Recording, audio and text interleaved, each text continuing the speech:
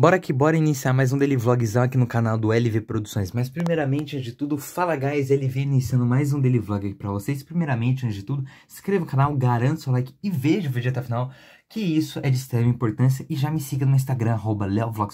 Molecada, o vídeo de hoje é muito da hora, muito divertido e bem descontraído. Decorrente que simplesmente, molecada, hoje eu vou contar pra vocês, vou mostrar pra vocês como que é a elaboração como que é a gravação, como que são os bastidores para uma gravação do YouTube Shorts, né? Para quem não sabe, eu faço YouTube Shorts para os meus canais, né? Para o meu canal principal e eu posto também aqui no canal do LV Produções. E hoje eu vou mostrar para vocês os bastidores de uma gravação, como é que rola, é, quais são as minhas ideias quando eu vou gravar um Shorts, como é que é, é em questão de gravação, em questão de iluminação, é, personagens e assim vai. Então veja até o final, pois isso é um vídeo muito legal e eu acho que pode te inspirar bastante na hora que você for gravar seu YouTube Shorts, tá bom? Então, aqui nós temos a nossa câmera, certo? Que não é uma câmera, é um celular. Esse aqui é meu celular pessoal. Esse aqui é um Galaxy A52 e tem esse celular que eu tô gravando, que é o canal, que é o celular focado para o canal do LV Produções, que é um Galaxy A31, tá? A32, se não me engano. E aqui temos o meu notebook.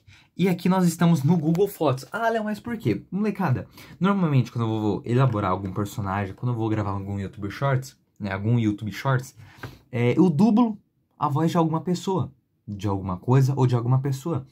Só que para mim dublar, eu preciso ouvir e ver a cena, né? Ver a cena para quê? Para entrar no personagem. E ouvir para mim encaixar minha voz e tentar meio que entrar literalmente no personagem, tá ligado? Meio que dublador mesmo. Tentando, né?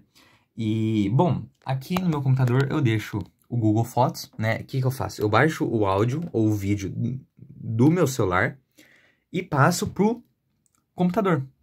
E do, no computador eu acabo vendo a imagem, acabo vendo o vídeo. Ó, o vídeo que eu vou gravar é simplesmente esse daqui, ó. Quando eu penso que... É, mas é melhor nem pensar que é simplesmente o que tá escrito ali. Vou contar um negócio para minha mãe e vejo que meu pai tá junto. Esse aí é o título do texto desse cara que eu peguei o áudio, certo? Que é um áudio muito famoso.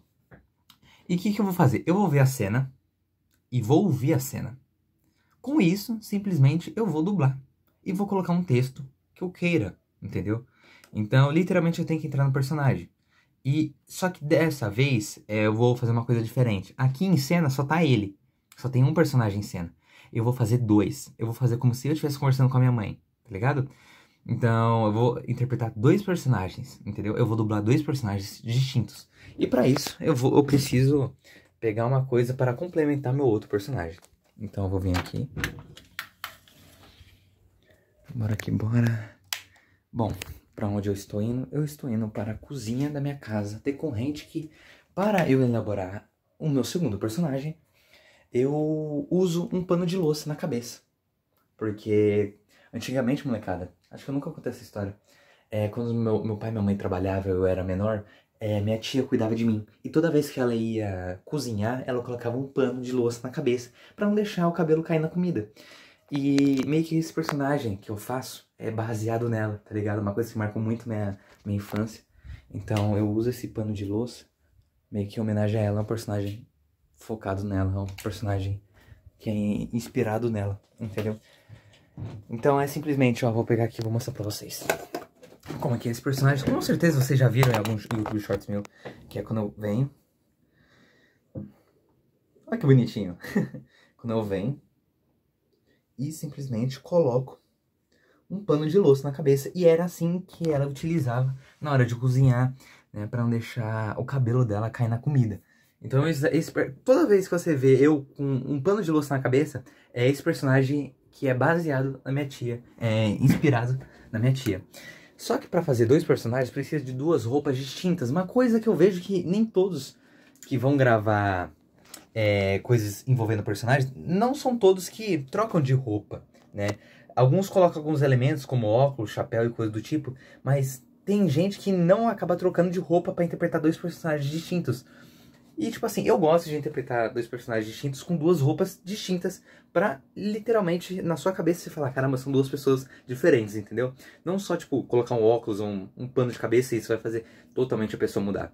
Isso é uma coisa da minha cabeça, tá? Então, aqui já tá pronto, certo? Aqui. Isso aqui é um suporte pra quem perguntou, tá? Alguns vídeos atrás, que, é isso? Gente, isso aqui é um suporte pra celular, tá? Muito útil. Um suporte pra celular míssil. E eu uso ele de pé assim, mas também tem como usar deitado, ó. Vou mostrar aqui pra vocês. Tem como usar deitado, que eu também uso, certo? Bem dorinha, bem bonitinho. E esse suporte é simplesmente para você deixar o celular assim, quando você for fazer um, uma stream, né, fazer uma live ou coisa do tipo, é muito útil. Até pra mim gravar meus YouTube Shorts, eu só gravo com esse apoiozinho, com esse suportezinho, que me ajuda muito. Bom, o primeiro personagem é simplesmente eu, Léo Vlogs. E eu tô com uma camiseta preta. Para o segundo personagem, eu vou vestir uma camiseta... Não sei que cor é essa, vou falar um salmão. Mas vou utilizar simplesmente uma outra vestimenta para interpretar o outro personagem, que seria praticamente a minha mãe, se assim podemos dizer. Voltando aqui. Então, eu tô tentando resumir aqui para vocês, nessa correria toda, como seria, certo? Como que é as minhas gravações para YouTube Shorts, tá? Ó, coloquei para gravar. Eu sempre gravo, molecada, eu sempre gravo, né, na selfie, né? Na Beleza, calma que aqui já é outro vídeo e aqui eu não posso dar spoiler. Então vem aqui, pausa. Eu sempre gravo olhando pra mim mesmo, certo? Por mais que nem todo YouTube Shorts eu olho pra câmera, né? Porque eu tô interpretando o personagem. Então eu gosto de olhar. Normalmente quando vocês veem algum YouTube Shorts, eu tô olhando normalmente pra cá, pra cá, pra cá. Nunca somente, nunca pra câmera, entendeu? Porque eu não tô falando com a câmera. Eu tô falando com outro personagem que não existe. E eu sempre gravo Full HD, 60 FPS tá? Que até me ajuda na hora de eu, na hora que eu for renderizar o vídeo, que eu renderizo em 1080p. Todos os meus YouTube Shorts são em 1080p, 30, é, 60 FPS, tá? Então daqui a pouco eu vou começar a gravação. E eu vou interpretar um personagem e em seguida o outro personagem, tá? Então, eu acho que é simplesmente isso que eu posso mostrar pra vocês, tá? É... Agora eu vou começar as gravações. Eu tenho quatro YouTube Shorts para gravar. Hoje é uma quarta-feira, dia 28 de 6 de 2023, às meia-noite sete. É, falta um dia, exatamente, falta um dia pro meu aniversário. Meu dia, o dia do meu aniversário é amanhã. E eu tô adiantando esses shorts porque eu vou adiantar shorts para sexta, sábado e domingo. Então, três shorts serão para sexta, sábado e domingo. E o último, o outro short será para outra sexta, porque já tem shorts para a próxima quarta-feira no meu canal principal. Esses shorts aqui, molecada, que eu tô gravando aqui pra vocês, né, que eu tô mostrando que eu vou gravar, só vão sair muito mais pra frente, lá pro final do mês de julho, tá? Então, eu tô com bastante vídeo aí adiantado, graças a Deus, tá bom? Então, o vídeo foi esse, espero que vocês tenham gostado, espero que tenham entendido. Tamo junto, valeu, nós e fui. Se inscreva no canal, garante seu like. Valeu, é nóis e fui.